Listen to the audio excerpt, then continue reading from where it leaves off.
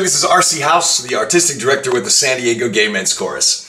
And uh, I was thinking this week, I was in my classroom. I teach elementary middle school, and I was with my middle school guitar students. And they were trying to tell me about a brother that's one of them had at the school. And I was like, I can't place him. And they're like, well, I said, does he ever hang out with you guys? I never see you guys together. And they're like, well, no, we don't really hang out with them. And they started to get really sheepish. And I'm like, well, why don't you hang out with your brother? Well, because he's like into drama and stuff. I was like, what do you mean he's into drama? Well, I mean, he hangs out with girls. He's kind of girly.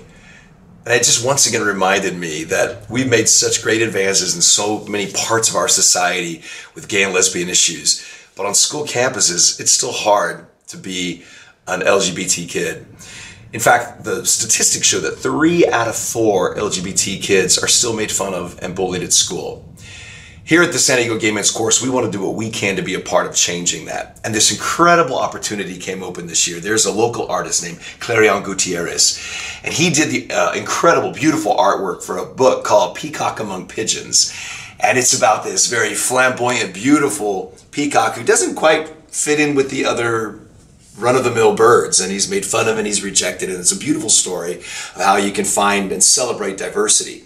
Well, we are going to be working uh, to put that into a mini musical form and hopefully eventually take it into schools where we can help students see even in elementary and middle school that everyone although we may be different and some of us may be more into the arts and be more fantabulous, we are valued and we are part of um, all the diversity that we celebrate. So we need your help in getting that done. And so we have uh, an event coming up. I think it's on November 18th.